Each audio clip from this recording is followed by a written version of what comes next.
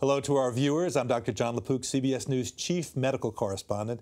Today, I'm so happy to be joined by a former CBS News producer and now author, Heather Won Tesoriero, in the CBS This Morning Toyota Green Room. In her new book, The Class, A Life Changing Teacher, His World Changing Kids and the Most Inventive Classroom in America, Heather tells the story of Andy Bramante, a former corporate scientist turned public high school teacher, and his unique classroom.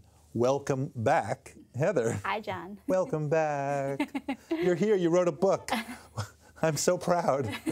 In full disclosure, I am not uh, non-object. I am not non-objective here. I am subjective. Um, Heather was a, was a wonderful producer for us at CBS uh, News for the evening news, and uh, we did this story. Go plan a life. We did a story. Tell the story about how this book happened. Uh, we produced a story about Olivia Hallisey, um, who won the Google Science Fair, a student at Greenwich High School, and you and I went out to Connecticut in the wee hours of the morning to, to do this interview and to do the shoot.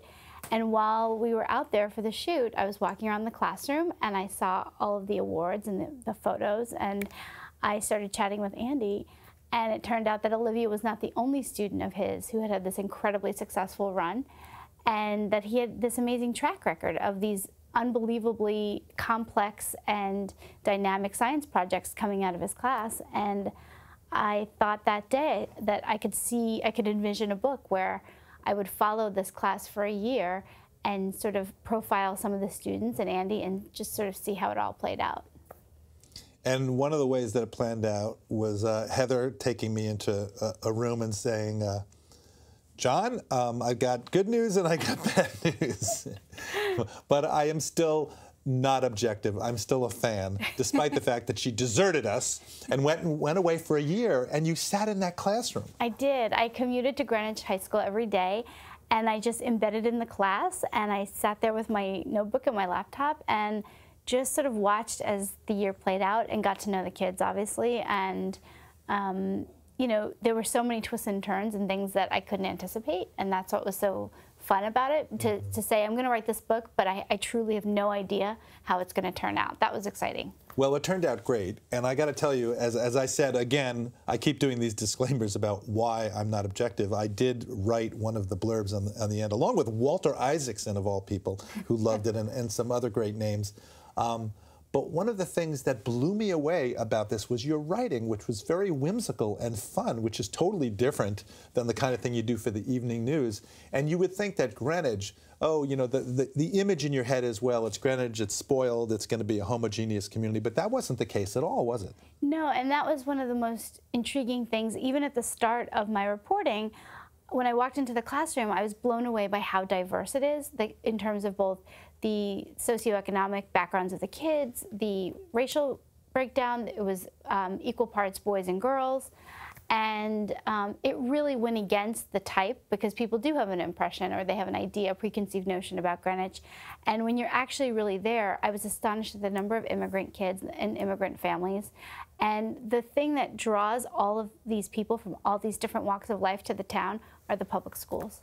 Yeah, and at a time, I have to say, I really enjoyed reading it because at a time when lots of other stuff that we read is not that much fun and it's uh, uh, it's a world full of turmoil. I mean, here is a little world that's full of its own little turmoil. Yeah. but it's really a, it's a feel good kind of story, right? I, yeah, I think that it um, because I I spent the year with them, and the book I think goes quite deep into the lives of everybody. It does kind of bring you into this little snow globe, and um, that's not that as you point out has its own turmoil and there's conflict and there's plenty of tension and lots of bad behavior. But on the part more of the parents. Yes absolutely. Not surprising right?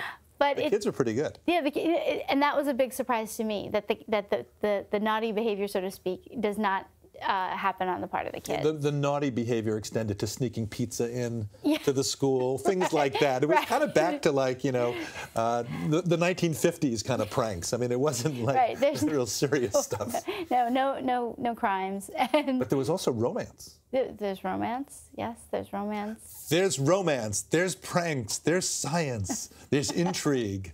There, there, I mean, I, I have to say, I was really surprised. I thought it was going to be a book about the science, uh-huh. which it was. and the science was fabulous. And I even, as a a scientist of sorts, um, as a person who enjoys that, I learned a lot. I actually learned some science in there, and I went and was googling. Uh, oh, that's interesting, and I went off. I said, "What's that again?" And then I would go off, and then I'd come back to the book. So, oh, that's um, great. Did you? What did you learn? So much. I mean, I had to have the kids. Full disclosure, I would have to say them. I know we've talked about it like 15 times. Can you explain it to me again? Because the, the science is very complex in the book, but the, the challenge was to make it accessible, obviously, to everybody. And I just kept saying, look, if these kids that are in high school, if they can master this and manage it, then, I, you know, I should be able to translate it for people. Remember when you were a producer and we would try to get the person who we're interviewing to like reel off the things, just, you know, for the, the bite, right? the da, da, da, da. So reel off the things, the different projects. Oh, right. Okay. Reel them off. One student developed a, um, a test for premalignant pancreatic cancer. One student developed a urine-based um, Alzheimer's diagnostic. One student developed a carbon capture technology that can, when scaled up, can be um, used with power plants to try to reduce harmful emissions to the atmosphere. Um, one student developed a rapid test for Ebola. Um, one student developed, um, I'm just trying to pick an environmental one, um, a, wind, a, a turbine that works underneath the sea that also, when scaled up, could power New York City with electricity due to the, the energy output. Just powering, just powering New York City. And I, I have to say, in, in, again the Go Plan a Life, when you said a test for premalignant uh, pancreatic cancer, my friend and scientist Dr. Anson Lo is in the back there, and I saw his eyes kind of perk up. So you never know. He's actually a scientist at Stanford, uh, and uh, he's doing research into trying to cure it. Yeah. So uh, this is how you know the word gets out, and, and actually industry found out about some of the your your. Yes, actually, uh, some uh, some very um, very impressive academic labs contacted the student about her premalignant pancreatic cancer test because it was an algorithm. It's a machine learning based algorithm mm -hmm. that looks for which of the players, which of the proteins in our blood are the players that turn out to indicate that you're you're at risk for premalignant pancreatic cancer, and she had an 80% accuracy rate. Which, which is, is kind of this is the kind of stuff that I did, you know, in in high school. We all did, right? Remember? I think yeah. I was what yeah. was I? Doing? I was like reading Ethan Frome, uh, but but these kids are curing cancer. Right. So it's super. So tell me, um, and I guess we we're, we're, probably coming towards the end of our time, but but uh, I mean not our time on Earth, hopefully, but our time here with this wonderful Face Talk chat. Uh, how, how many minutes? We got probably about four minutes left. Um, give me like some uh, amuse bouche. Yeah. Amuse my bouche. I think that what's interesting about what what I love the most about writing the book is that there is a lot of science, as you as you said, but it really chronicles a year in the life of kids who are trying to survive high school. And what I kept reminding myself and was constantly reminded by them is that when you're in high school, it doesn't matter whether the stakes are high or not, it all feels so high. When you're in high school, you don't have the lifelong experience and the wisdom and the perspective to know that this is really a tiny sliver of your life, but it feels, it's so amplified and it feels so important, every little thing. And instead of, you know, stepping away from that, I really tried to honor that with the kids and honor all the things they were going through. The prom dates, the homecoming, um, you know, just all the social dynamics, the conflicts with their siblings and their parents, all that stuff. I just tried to, to uh, you know, objectively report it, but also to give it its due because we all go through it. So there's, I think that there's a universality there because I don't know of a single person who can't look back on their high school days and think about something that felt so important at that time. And in the last three minutes, we're going to come full circle. This all started out with us doing a story about Mr. Bramante. Am I pronouncing his name right? Yeah, Andy Bramante. Yeah. Bramante.